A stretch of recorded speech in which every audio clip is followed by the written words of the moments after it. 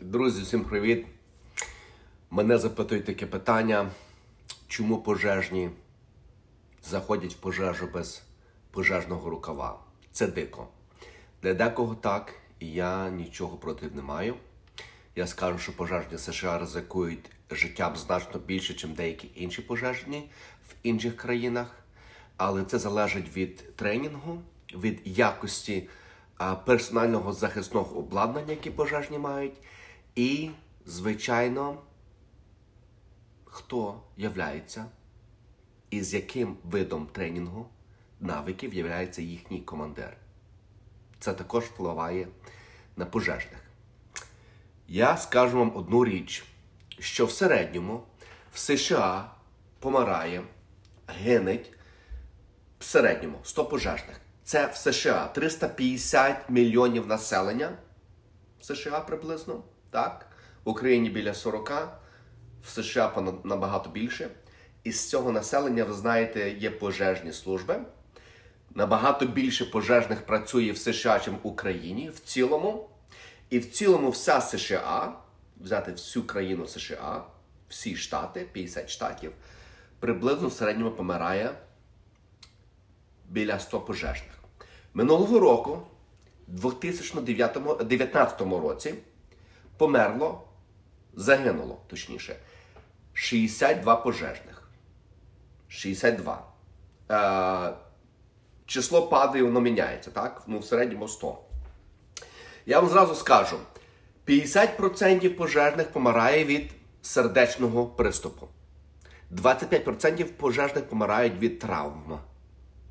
Але більшість цих смертей являється не в самій пожежі, являються вони біля пожежі, виїздом до або після пожежі, або під час пожежогасіння, або активності, які займаються по- пожежні, або діями під час пожежі, які займаються пожежні. Получається, щоб хтось з пожежних згорів вживу, це дуже дуже маленьке число. Знаючи цю інформацію, давайте подивимось. Я е, беру інформацію е, з е, ось е, настоящої американської статистики. Так, тут нічого не приховано. Американська статистика чесно показує смерті пожежних. Не так, як в Україні пожежний отримав, візьмемо травму, і йому начальник каже, пиши, що ти за, заробив травму не під час роботи, а десь в іншому місці. В нас так не працює. В нас кожна травма, яка є серйозна, кожна смерть розслідується і не пожежною частиною, а третім лицем. І нікого не підкупиш. Це є велика різниця. Порівняти з Україною, Україна навіть не хоче показувати статистики, тому що є нечесність. Я прямо кажу, все побудовано на нечесності. Українці, начальники, вам потрібно мінятись. Я розумію, це коштує гроші, це потрібна виплата е, сім'ям. Но, давайте глянемо. 62 пожежних загинули в 2019 році, рік назад. 33 пожежних отримали сердечний приступ, 15 від травми. Так, оцих 50 і 25%. 75% пожежних помирають в США від приступу сердечного і від травм. Травм біля пожежі, на пожежі, під час пожежі, під час виїзду на пожежу. При аваріях. Пожежі попадають в аварію. На жаль, це погана статистика. А, чотири пожежних отримали опіки, і вони загинули від опіків, можливо, під час пожежі. Три пожежних е, отримали інсульт, загинули від інсульту. Два пожежних heat exhaustion, це перегрілись, получається. А, і деякі пожеж... одного пожежного вбили. Насиль... Ну, його хтось збив на пожежі, якась подля людина. Один задихнувся, одного вдарило током, і одного пожежного передавило. Якась річ придавила. Чи будинок завалився, і два other. Два незрозуміло, немає повної статистики. Ось ця вся статистика. Получається, як я вам, друзі, кажу, воно це все ділиться на таку графу на на ось таку графу. І ця інформація є доступна, і я вам оставлю. Оставлю вам оцю інформацію, що ви також глянули, щоб я не то, що казав просто пусті слова, і хтось сказав, що я щось придумав.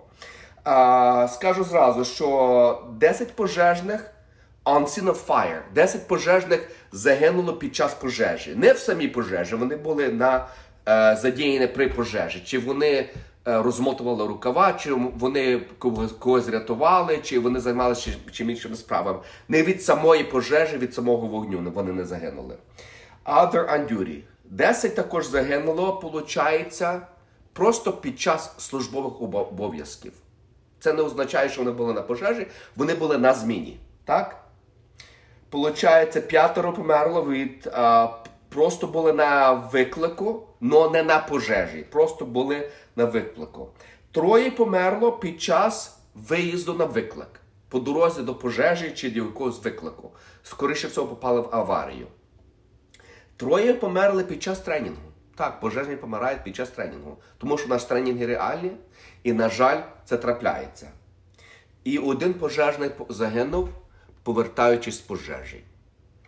Е, також я поясню вам, друзі, що коли я їду на роботу, моя зміна починається в 7 ранку, я в 6 ранку в дорозі, я попадаю аварію, це і помираю, загину, або пож... нас були такі випадки. Це покриває пожежна служба. Рахується, що пожежний вже їде на роботу і він помирає під час обов'язків. Чому це так трапляється в США? Тому що щоб сім'я отримала компенсацію. Е, давайте про це трошки поговоримо. Тому що а, в моєму департаменті працює так: якщо пожежний а, помирає під час службових обов'язків, це пожежному а, дається компенсація не так йому, як його сім'ї, його дітям. Е, Моя дружина, якщо в випадку це стра, трапляється, вона стає мільйонером автоматично. Я повторяю, вона стає мільйонером. Не сотні тисяч доларів, мільйонером. Державна служба має на нас страховку, яка виплачує компенсацію сім'ї.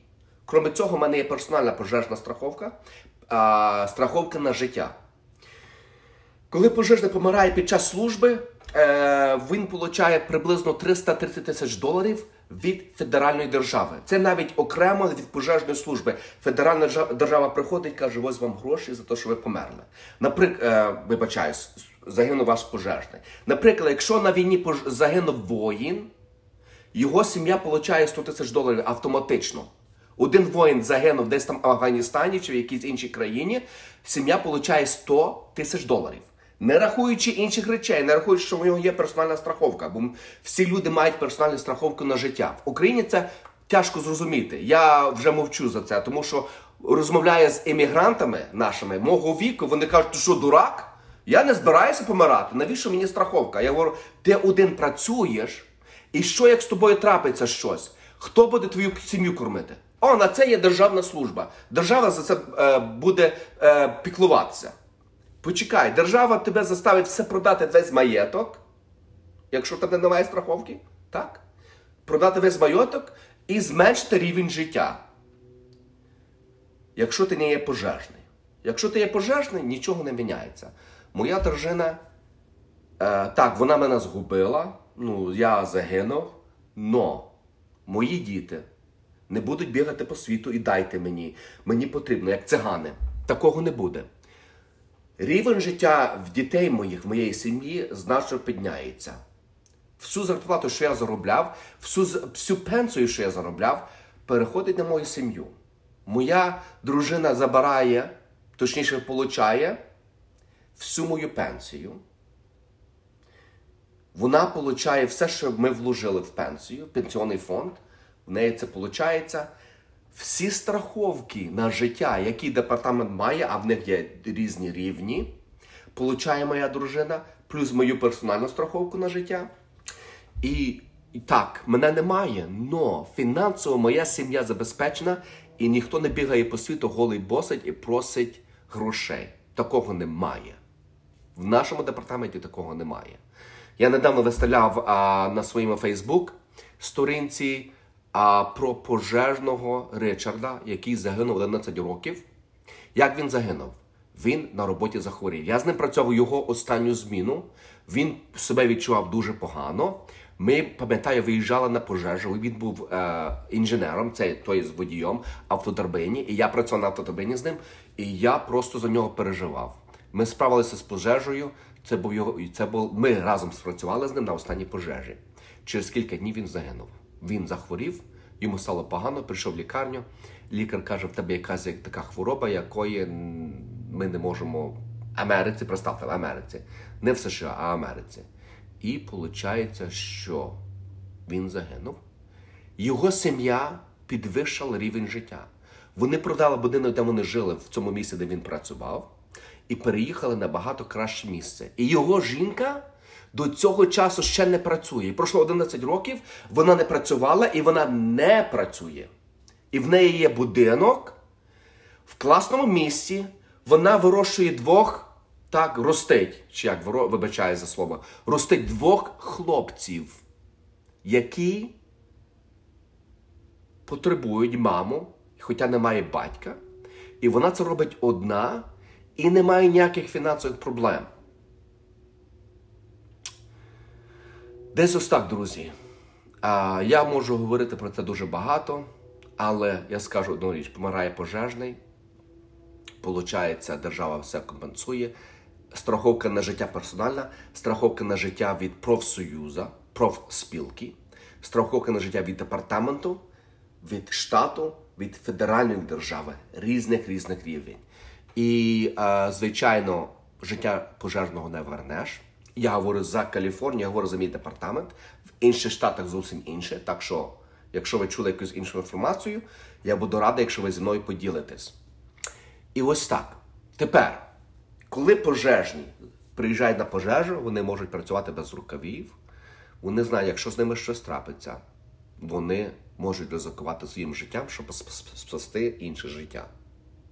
Це зовсім інше, щоб приїхати на пожежу і знати, якщо ти ризикуєш своїм життям, твоя сім'я гола і боса. Так, вони загубляють повністю все. Немає більше доходу, якщо я один працюю.